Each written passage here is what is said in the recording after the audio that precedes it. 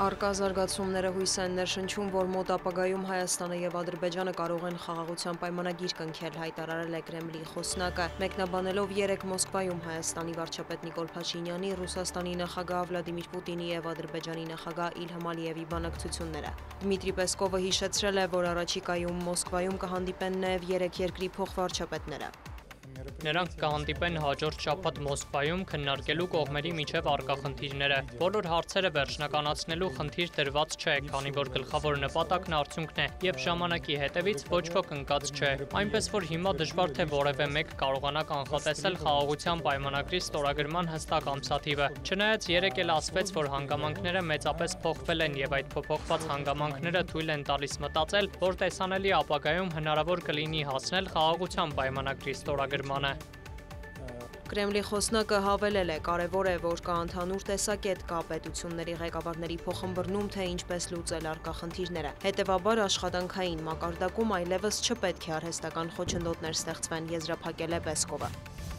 Փաշինյան-Պուտին Ալիև երակողմ բանակցությունները մեկնաբանել է նաև Միացյալ Նահանգների պետքարտուղարության խոսնակը։ Միացյալ Նահանգները ներկայացված չէր Մոսկվայում կայացած հանդիպմանը, սակայն այս թեման մեզ համար մնում է առաջնահերթություն, լրագրողների հետ ճեպազրույցում ասել է Մեթյու Միլերը։ Պետքարտուղարը մի քանի շաբաթ առաջ Վաշինգտոնում ընդունեց կողմերին եւ նա կշարունակի ներգրավված մնալ։ Դրանից հետո քննարկումներ անցկացվեցին Բրյուսելում։ Մենք աջակցում ենք բանակցությունների շարունակմանը։ Ավելի վաղ ասել ենք, հավատացած ենք, որ համաձայնությունը շատ մոտ է։ Մենք կարծում ենք, որ կողմերը պետք է միասին աշխատեն չլուծված հարցերի շուրջ համաձայնության հասնելու համար։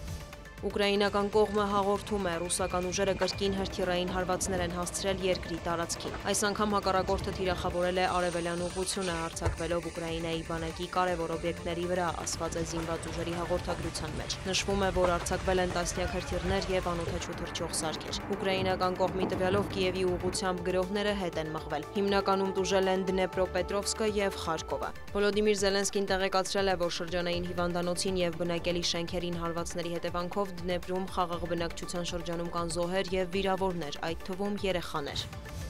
Ռուսական կողմն էլ հայտնում է վաղ առավոտյան Կրասնոդարում պայթյունների մասին։ Տեղական լրատվամիջոցները հայտնում են, որ երկրամասում գործարկվել է հակաօթային պաշտպանության համակարգը։ Մորսկայա փողոցում բնակելի շենքեր են վնասվել։ Կրասնոդարի նահանգապետը տեղեկացրել է, որ միջադեպի պատճառը երկու անօթաչու թռչող սարքի կործանումն է։ Նրա խոսքով զոհերի եւ տուժածների մասին տեղեկություններ չկան։ Բելգորոդի նահանգապետ Վյաչեսլավ Գլադկովն էլ հայտարարել է, որ վերջին մեկ օրվա ընթացքում Ուկրաինայի զինված ուժերը 200 արձակում է իրականացրել շրջանի ուղությամբ։ Նրա խոսքով տուժել են քաղաքացիական